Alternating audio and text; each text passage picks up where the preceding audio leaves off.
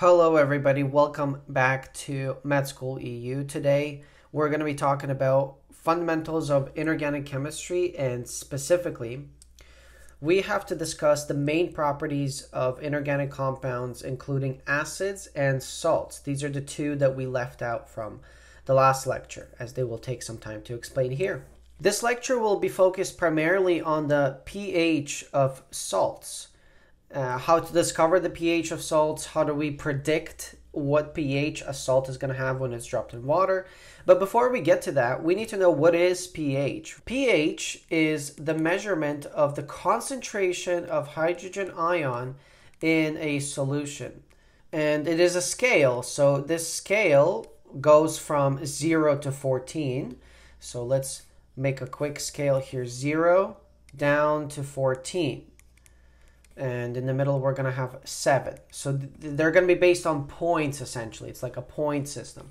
Seven is identified as neutral, meaning that it is not uh, going to be acidic or basic. It's going to be neutral pH.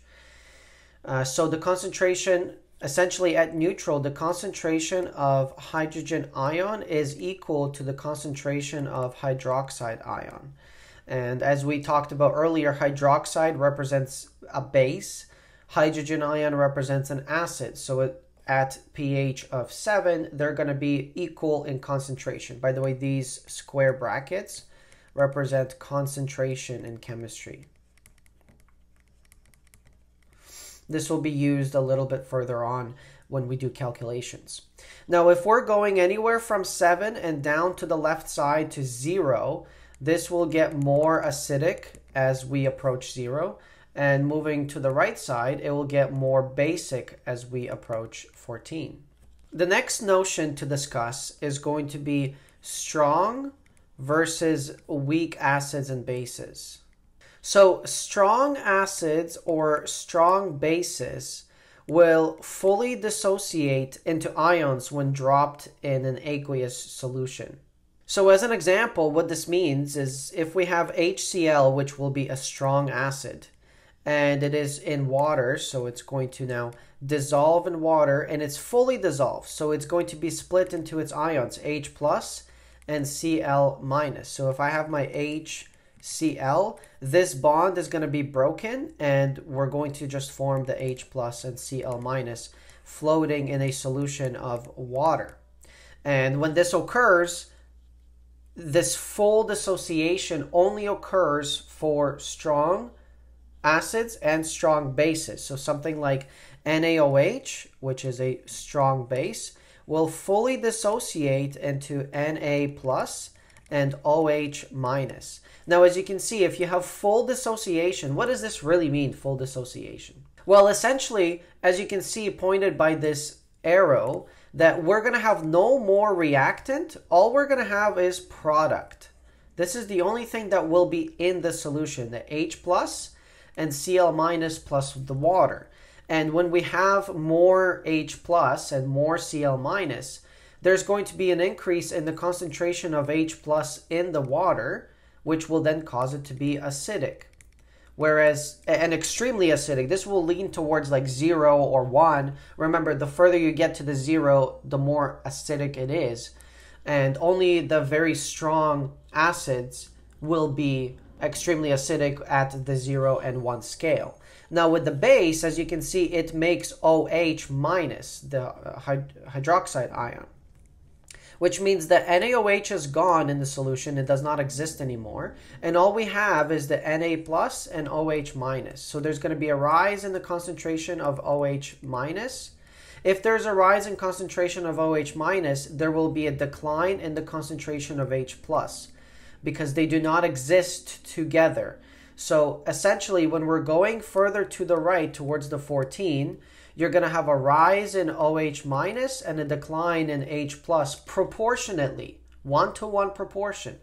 And because of that effect, it's going to be more basic. Now, with the acidic, vice versa happens. You have an increase in H plus. That means you have a decrease in the concentration of OH minus. And when that occurs, of course, we have an acidic solution. If we're talking about weak acids and weak bases, they only partially dissociate.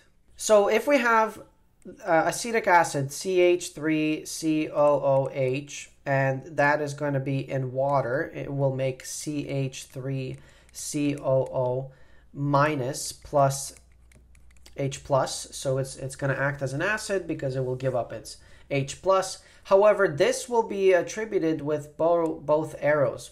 But essentially, in the rea- when the reaction is occurring, the majority of this is still present. So this is what the majority of the compound still looks like. Whereas this, very little of CH3COO minus and very little of the proton is being generated. And so if very little concentration of the proton being generated, well, we have a very, very little rise in the concentration of H plus, tiny little rise. And that tiny little rise leads to acidic, yes, but it's going to be barely acidic. So the pH is going to be maybe five, right? It's it's off from the seven. It's still acidic, but it's not close to zero or one, and that makes it a weak acid. Now we have other examples of weak bases as well, and they work exactly the same. And that is simply because the dissociation is not complete, it is only partial. Because some of it, actually the most of it, will stay in this sort of presence. And when it's like this, when acid is in its regular form without being dissociated, it has no effect. Because the only effect it has is when it actually has separated into its hydrogen ion because the hydrogen ion is the measurement of pH. So for strong acids, we've got HCl, hydrochloric, hydrobromic, hydroiodic. We've got HNO3, H2SO4, and HClO4. These are the six strong acids that we have in nature, and these are the six strong bases that we have. KOH, calcium hydroxide, SROH, and BaOH. So these are the ones you should memorize. If you see any other acid or base, they will be considered as weak. Now let's apply all that we just learned to salts. The reason why salts can actually change the pH and have an effect on it is because when dissolved in water, they form cations and anions. And because these ions will be flowing in water, they're going to have an effect on the water, and therefore they can change the pH. So essentially, what the exam is asking us to do is to predict what the pH will be if this salt is dropped into water. What effect is it going to have? And there's going to be several scenarios that we're going to deal with. Scenario number one, for example, we have sodium chloride, salt. So sodium comes from a strong base, NaOH. And chlorine also comes from a strong acid, which will be HCl. Now, those two are going to counteract each other, and since they both dissolve fully, since they're both um, strong, they're going to fully dissolve, meaning that the ions will just remain Cl minus and Na plus without bonding with the water. They're not going to do anything with the water. These ions will simply remain there, and they're going to have no effect. So they will essentially just cancel each other out, and there will be no effect on the concentration of H plus or the concentration of OH minus. They're going to be steady. They're going to be the same. And when they are the same, then the pH will be neutral. It will be 7. And again, that is only due to the fact that it's strong acid, strong base that fully dissolve. And when they fully dissolve, Na plus and Cl minus do not react with water. If they're not going to be doing the reaction, then the ions that, that are present in the water are going to remain under the same concentration. Scenario number two we're going to have a salt that will be having a strong base or comes from a strong base and a weak acid. So, for example, if we have uh, sodium fluoride, NaF, Sodium, as we know, comes from strong base, which will be NaOH. And fluorine comes from a weak acid, HF. Remember, this is not one of the strong acids from the halogens, therefore forms a weak acid. So let's talk about how it will affect the pH. Now, since the HF will not fully dissociate, it means that F minus that will be coming from the salt, it will bond with the H plus from water. It's going to react with it. And when it reacts with it, well, it, that means it takes away H plus because it forms, it now is actually going to form HF. Because remember, these do not dissolve very well. So they're actually going to bond and form when they are present. And so when that happens, because it forms the HF, it's going to lower the concentration of the ion. And when it lowers the concentration of the ion, then we're going to have a pH that is higher than 7. So it is going to be basic. Scenario number three, we're going to have the opposite going on. We have a salt that is going to come from a weak base and a strong acid. For example, if we have something like iron chloride, the iron here is coming from a weak base, which is FeOH3. So weak base. And the chlorine comes from a strong acid, which will be HCl. So since the, the chlorine is going to have no effect on the pH because it's not actually going to bond with the H+, plus, since it forms a strong acid, in the water, it's not going to make that formation because it will fully dissociate. It will just remain as Cl minus. It's not going to bond with the water. However, the iron will because it's weak. So it is the iron Fe3 plus will bond with OH minus. And when it bonds with OH minus, it forms FeOH 3. And now that we have a higher concentration of FeOH3, we're going to have a lower concentration of OH minus. And by definition, if you have a lower concentration of OH minus, you're going to have a higher concentration of H plus. And now since the pH is a measurement of concentration of H plus, it's going to be rising. And if it's rising, then it's going to be closer to zero. So essentially, we're going to have a pH that is lower than 7 and will be acidic. And finally, scenario number 4. Here we're going to have a salt that forms both weak base and weak acid. So something like uh, NH4, F. So ammonium fluoride.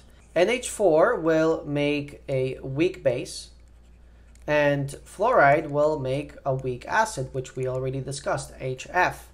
So here, it cannot be predicted the effect that it will have by simply looking at it because they're both weak. So we need to know how far they will dissolve. And to know that, we're going to have to compare these values. So we'll have to compare the Ka and the Kb. If you're wondering what Ka and Kb are, I'm not going to go into detail about this However, you should know that Ka and Kb give you the level of dissociation for a particular compound in water. So essentially, these values are going to be used for weak acids and weak bases to see really how much do they actually dissociate. And what we do here is we have to compare the values for the acid and the base. And whichever one comes out on top will make up what the pH will be. So um, in this case, the Ka of the acid, so NH4 plus, this is the um, ion that we're talking about. The Ka is 5.68 times 10 to the negative 10. And you will not have to memorize these values. If anything, if this ever comes up, which I really doubt, um, they will give you these values. There's no way you're going to have to memorize these. And then Kb uh, for F minus is going to be 1.6 times 10 to the negative 11, meaning that the Ka is higher. It's, it's one degree higher. And therefore, if Ka is bigger than Kb, Therefore, it's going to be an acidic solution. Now, there are particular calculations involved to do this, which is not going to be required for you to know for the test. However, you should know how these values are going to be found out if you are given the Ka values and you're asked to compare and find whether it will form neutral, acidic, or basic solution. Now, if we had a hypothetical example the other way, if we had Ka uh, that is smaller than Kb, then of course we would have a basic solution. And if they equal each other, Ka is equal to Kb, then we're going to have a neutral solution. These are the four scenarios that may come up with any salt that's being dropped in an aqueous solution. And this is how you predict their pH. So we're done with this unit. We're moving on to the next one. Click on the next video to find out more about chemical reactions and introduction to stoichiometry.